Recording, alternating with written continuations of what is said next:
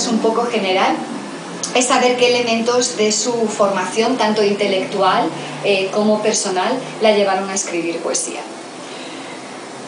Es una pregunta difícil porque uno eh, no tiene claro el momento en el que se asume como poeta.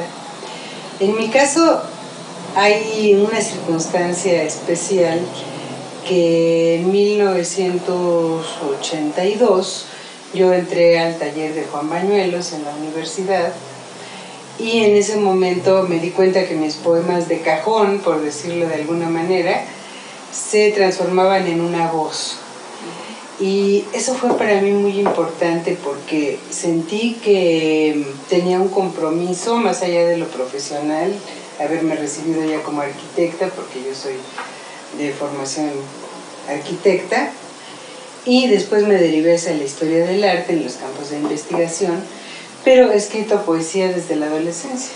Pero no sabía la importancia que eso iba a tomar en mi vida. Entré al taller de Juan Bañuelos y yo envié un poemario al premio Luis Cernuda en 1985, gracias a la Asociación de Escritores de México. Dije, bueno, pues yo que pierdo, yo mando mi, mi poemario, ¿no? Y es un libro sobre el mar, pero el mar como la gran metáfora del cambio, del eros y del tánatos, ¿no? Y estaba yo pues en una etapa madura, siendo una persona madura joven, ¿no? Tenía yo 32, 33 años.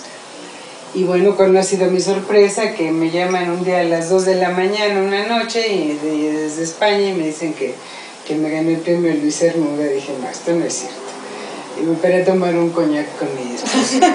Digo, no, no, no, esto, está, esto es muy raro, alguien me quiere hacer una broma. Y no se lo dije a nadie hasta que al otro día llamé al Ministerio de Cultura de, de, Sevilla y entonces ahí fue donde me dijeron, señora, pues si se lo hemos dicho a usted. Decía, ¿cómo serán en México? Que ella no se lo cree.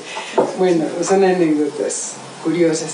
Pero bueno, a partir de ese momento yo me di cuenta que lo que estaba haciendo pues era serio, es serio, y es un motivo de vida y a partir de entonces he combinado mi trabajo como docente e investigadora con mi trabajo creativo, lo cual no, no es nada fácil, pero pues a cada quien le toca lo que le toca.